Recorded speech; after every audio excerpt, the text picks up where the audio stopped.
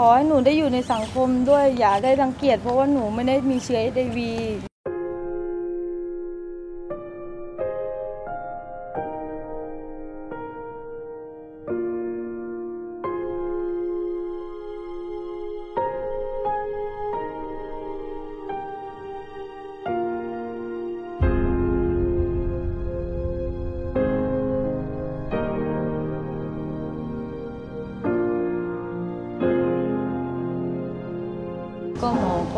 รวจเลือดหนูหมอบอกว่าหนูมีเชื้อเอชไอวีคือเราหมดหมดแล้วอะค่ะ คือเราไม่เหลืออะไรแล้ว คือชีวิตเราแย่ที่สุดแล้ว คือแฟนก็ติดคุกปัญหาครอบครัวมันก็เยอะอยู่แล้ว แล้วพอมาติดเชื้อเอชไอวีหนูก็ไม่เคยบอกใครเลย อยู่ไม่เคยบอกพ่อแม่ญาติพี่น้อง คือไม่เคยบอกใครทั้งสิ้น ก็คือปกปิดมาตลอด หนูสงสัยแต่หนูไม่รู้ว่าจะทำจะว่ายังไงเพราะในเมื่อหมอบอกว่าหนูติด คือชีวิตหนูหนูก็ว่าหมอคือคนรักษาคนไข้ในเมื่อหมอบอกนั้นเราก็เชื่อหมอ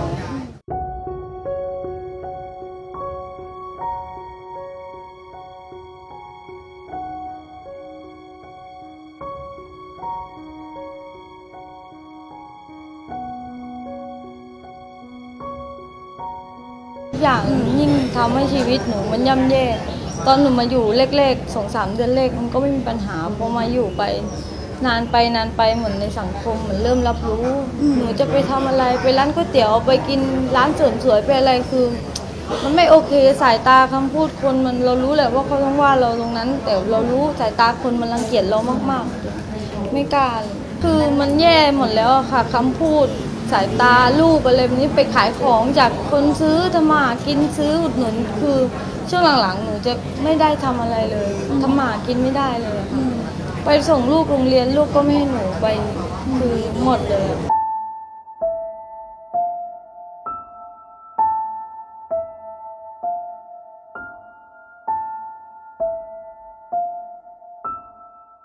จนกระทั่งหนูอยู่อยู่อยู่กับหนูก็เลยเลิกกับแฟน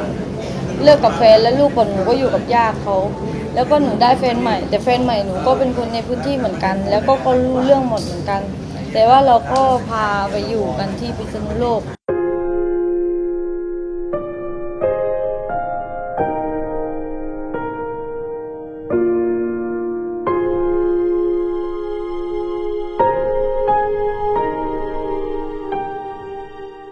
ก็หนูตอนแรกหนูคิดจะไม่เอาลูกแล้ว แต่ว่าเขาก็ยัง มีปัญหาจะเอาลูกจนสุดท้ายหนูต้องมีลูก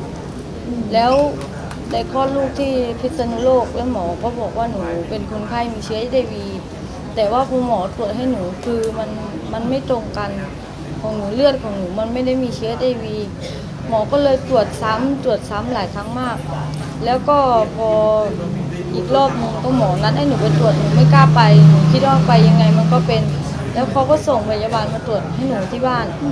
เอาเลือดหนูไปจากบ้านก็ไปตรวจเขาหมอให้ไปฟังผลหนูก็ยังไม่กล้าที่จะไป เขาก็เลยมาตามตามสองครั้งหนูก็เลยถึงจะไป แล้วก็หมอเขาบอกว่า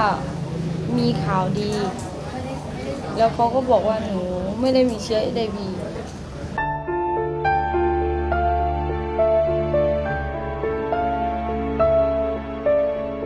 ขนาดหมอบอกว่าหนูไม่มีเชื้อหนูยังอึ้งเลย คิดว่ามันไม่ใช่ความจริงมันเหมือนฝันไปอะหนูคิดว่ามันเป็นความฝันเพราะที่ผ่านมาหนูว่ามันคงจะไม่ใช่เรื่องจริง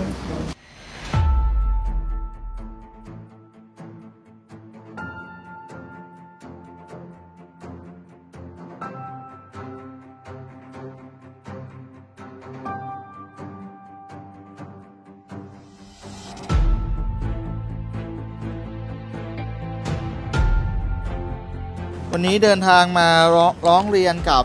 ปลัดกระทรวงสาธารณสุขนะครับ เรื่องการตรวจเชื้อ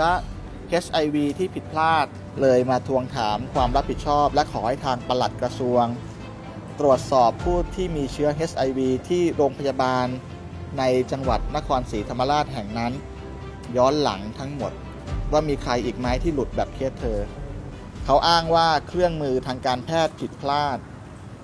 เครื่องมือทางการแพทย์ผิดพลาดได้หรือครับ เราต้องมีคำตอบเรื่องนี้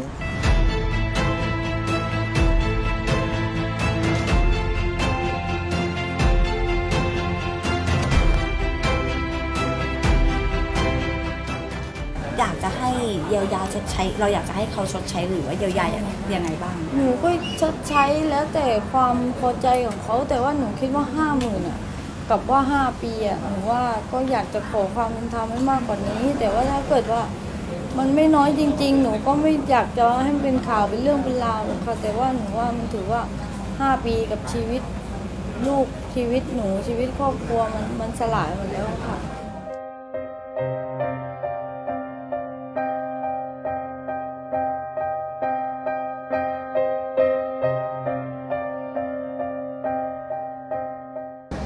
ชีวิตที่ผ่านมาหนูคิดว่าหนูจะตายแล้ว หนูใช้ชีวิตแค่วันนี้หมดไปพรุ่งนี้ก็เริ่มใหม่คือวันต่อวันคือ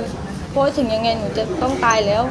สุดท้ายแล้วชีวิตหนูพอรู้ว่าหนูไม่ได้เป็นเอวีคือชีวิตหนูเหลือศูนย์อืมไม่มีคำว่าอนาคตเพราะหนูไม่คิดว่าอนาคตหนูมี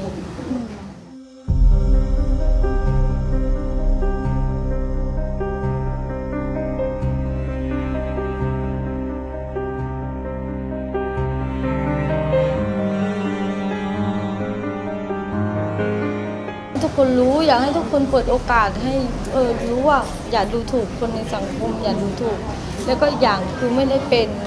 ใช่ ให้แล้วถ้าว่าคนที่เป็นจริง ๆ ก็อยากจะฝากบอกคนในสังคมว่า คนที่เป็นจริง ๆ ก็ให้โอกาสเขาด้วย เพราะว่า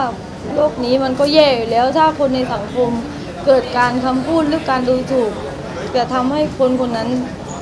แย่ยิ่งก็ไปอีกจนว่าไม่มีไม่มีกำลังใจที่จะก้าวอยู่ด้วยซ้ำ